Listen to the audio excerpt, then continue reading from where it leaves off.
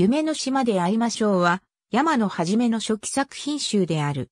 1985年2月に、青林堂より、初版刊行。2000年6月に、同社より改訂版が刊行されるが現在絶版。キャッチコピーは、奇妙キテレツコートを向けおいでませ、夢の島へ。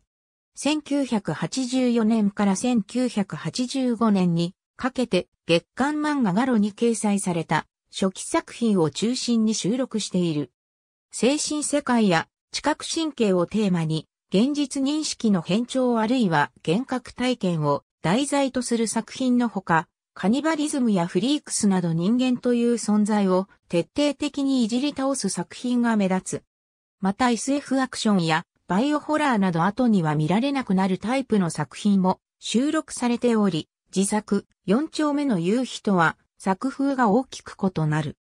後に山野は改訂版の後書きで自分の技量もわきまえず、妙に張り切った SF など描いていて、穴があったら入りたいと収録作品に対しては、自重気味のコメントを寄せている。一方で、青山正明や猫汁など、サブカル界の重要人物に多大な影響を与えた一冊でもある。短編、食の探求者はクローン人間を合法的にカニバリズムや快楽殺人の対象にする不謹慎な内容で改訂版の単行本では削除されている。